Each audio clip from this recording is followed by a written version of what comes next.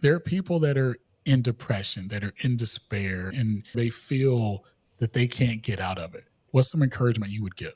So it's really hard to give encouragement on depression. Depression is absolutely debilitating. It was it's you can go into a room and not leave that room for 48, 72 hours only to eat and to use the bathroom because of depression. So as soon as you as soon as I was able to find my way out, like as soon as I saw like a bright day on my mind's eye, I would seize on it. I would just run. I would get out of the house. I would call, um, they call that the manic stage when I would just call people, hey, what's going on? I got this going on. Hey, I'm looking for this. I got this. I just kept pressing forward. So giving someone advice on how to come out of depression is really hard. I did a lot of mental, a lot of yoga, and a lot of psychotherapy with my therapist, to be completely honest.